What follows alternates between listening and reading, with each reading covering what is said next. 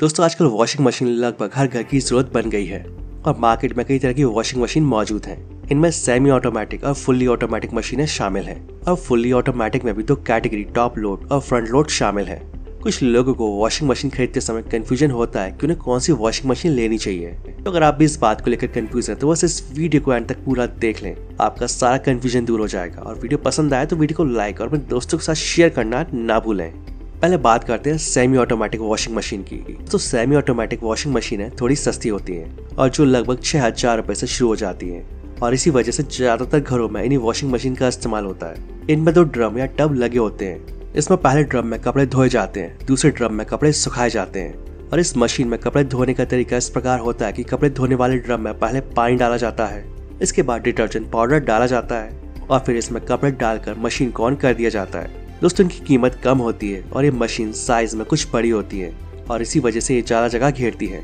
और चलती मशीन के बीच में भी धोने के लिए कपड़े ड्रम में डाल सकते हैं और इस मशीन में पानी खुद ही भरना पड़ता है और निकालना पड़ता है। शर्ट के कॉलर या कपड़ों पर लगे गहरे दाग साफ़ नहीं हो पाते हैं। इसके लिए कपड़ों को मशीन से निकाल कर उन पर ब्रश करना पड़ता है। इनमें कपड़ों की सफ़ाई अच्छे से नहीं हो पाती है।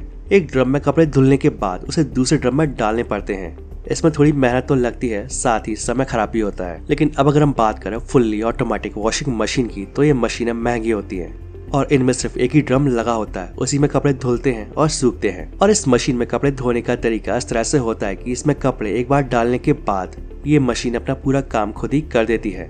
इसके ड्रम में पहले पानी और सर्फ डालकर कपड़े डाले जाते हैं और फिर इसमें से आपके कपड़े सूख कर बाहर निकलते हैं। दोस्तों, फुल्ली ऑटोमेटिक वॉशिंग मशीन का साइज़ थोड़ा छोटा होता है और एक कम जगह घेरती है। और वॉशिंग मशीन में एक बार कपड़े डालने के बाद ये पूरी तरह धुलकर और सूख कर बाहर निकलते हैं। और हाथों से कपड़ों को बिल्कुल भी नहीं धोना पड़ता है और इसमें काफ़ी समय बचता है। और इसमें सेमी ऑटोमेटिक मशीन की तुलना में कपड़े धोने में 30 से 40 परसेंट तक पानी की खपत कम होती है। साथ ही सेमी ऑटोमेटिक मशीन की तुलना में बिजली का खर्च भी कम होता है। इसमें कपड़े गोल गोल और सेमी ऑटोमेटिक मशीन की तुलना में तेज़ी से घूमते हैं, जिससे कपड़ों की सफ़ाई अच्छे से होती है। लेकिन ये फुल्ली ऑटोमेटिक वॉशिंग मशीन भी दो तरह की होती है। जिसमें पहली है टॉप लोडिंग वॉशिंग मशीन इसमें कपड़े डालने वाले ड्रम का मुँह सेमी ऑटोमेटिक मशीन की तरह ऊपर की ओर होता है और इसी वजह से इसे टॉप लोडिंग मशीन कहते हैं। इस मशीन को चलाने के बाद भी आप इसमें एक्स्ट्रा कपड़े, पानी और डिटर्जेंट डाल सकते हैं और कपड़े धोते समय बीच में बिजली चली जाए तो कपड़ों को बाहर निकाल सकते हैं और कपड़े धोने के लिए कुछ कंपनियाँ गर्म पानी या भाप का इस्तेमाल करने की सुविधा भी देती हैं। और दूसरी है फ्रंट लोडिंग वॉशिंग मशीन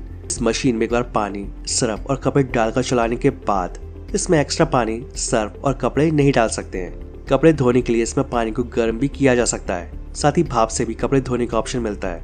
इसमें कपड़े बहुत ही अच्छी तरीके से साफ़ होते हैं। हालाँकि इसमें कपड़े डालने के लिए बहुत झुकना पड़ता है और अगर कपड़े धोते समय बीच में ही बिजली चली जाए तो आप कपड़ों को बाहर नहीं निकाल सकते। और दोस्तों, इस तरह की वॉशिंग मशीन की शुरुआती कीमत सत्रह हज़ार रुपए के आसपास है। तो दोस्तों, अब आपको समझ आ गया होगा कि सेमी और फुल्ली ऑटोमेटिक वॉशिंग मशीन में क्या फ़र्क होता है।